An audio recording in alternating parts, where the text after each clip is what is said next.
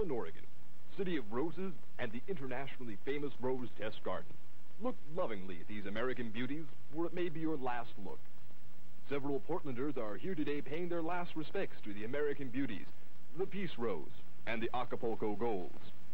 Authorities have confirmed the existence of a giant slug, and reports indicate that it is headed towards the Portland area. Scientific experts disagree on the origins and the intent of the monster slug, but one thing is for sure. The slug does exist, and it appears to be headed straight for the Portland Rose Test Gardens. Meeting in the mayor's chambers in a last-ditch effort to save the city of Portland and its Test Rose Gardens, city officials and officials from a local brewery have joined forces to stop the giant mutant slug that has threatened the city of roses.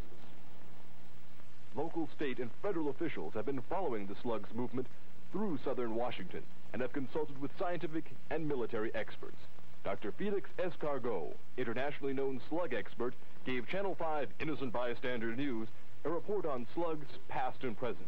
Dr. Escargot reminded us that slugs, generally thought to be a pest, were once accorded the distinction of being a delicacy in medieval France. The slugs were force-fed delicate rose petals in an attempt to make them palatable to geese, which in turn were force-fed slugs for a fine pâté de foie gras. Along the way, however, slugs acquired a taste for rose bushes and often a beer chaser. Dr. Escargot insists that the giant slug means no harm to man. Blitz Weinhard officials immediately offered over 10,000 gallons of their undrinkable generic label brew to dump into the Willamette River in an attempt to divert the slug from the Rose Test Gardens in Portland proper. Old-timers may recall when the Skidmore Fountain was dedicated, Henry Weinhard ordered his beer to be pumped through the fountain for the good citizens of Portland. Well, history repeats itself. Today, several good citizens expressed their surprise and gratitude by tasting the brew. Fit for a slug, one was heard to remark. As the slug moves towards Portland, it leaves behind it a trail of slime and destruction. Many homes in the southwest Washington area have sustained slug damage estimated to be in the millions of dollars. In a defiant retaliatory effort, area farmers have set fire to their fields rather than abandon them to the killer slug.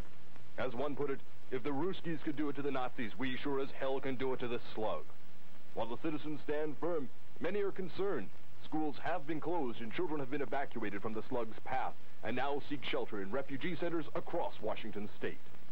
Testimony was given by Dr. Bobby Goodnight, nuclear physicist from the Earth Arts and Sciences Department at PSU.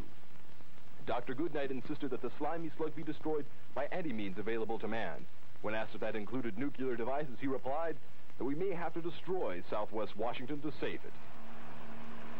Scientists report a series of harmonic tremors centered in the Portland area indicate that the slug has taken the bait and fallen into the Willamette River, where it will be lured away from the city.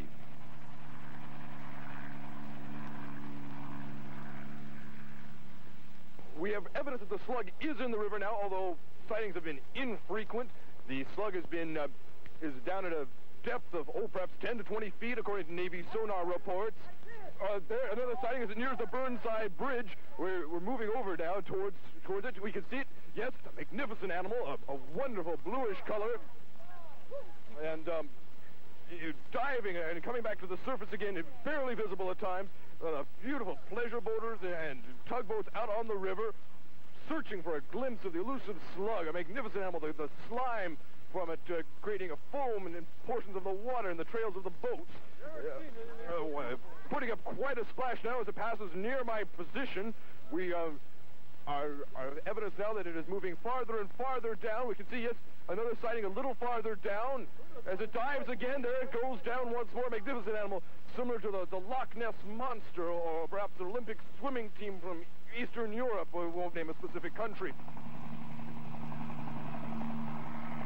The monster slug has been reported swimming haphazardly down the Willamette, having survived a lethal dose of beer. Portland General Electric officials have held a press conference where plans were disclosed to channel the electricity generated by the Trojan nuclear plant into the Columbia, thus creating an electric barrier which might kill or injure the slug. Anti-electric protesters costumed as common lampshades to represent the hidden evils of artificial light presented a short skit outside the building. Electricity is evil and no juice is good juice signs were seen as the spokesman reminded the spectators that if God wanted man to have artificial light, he, she would have said, let there be electricity. A news blackout was ordered by PGE officials on the subject.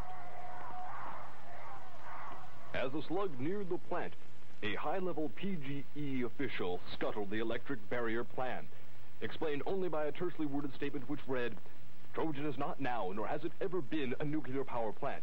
It is in fact the world's largest covert wigwam burner. It is constructed to avoid anti-wigwam legislation in Oregon.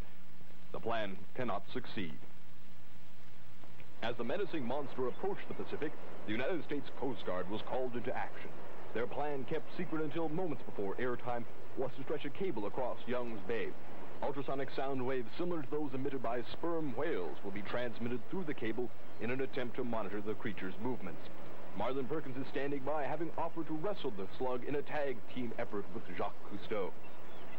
But alas, despite man's best efforts to kill the beast, it was a simple saline solution that finished what was started in the depths of a volcano. As every sadistic child knows, salt kills slugs.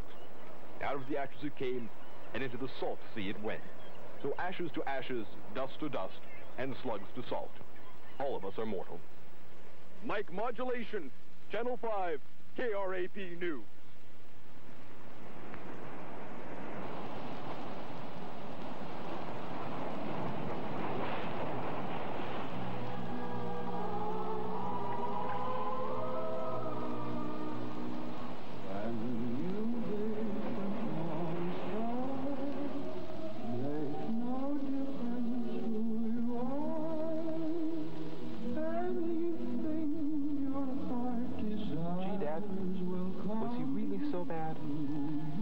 Son he wasn't. Sometimes man can't comprehend the complexity of nature. Often when we encounter something we don't understand, we kill it.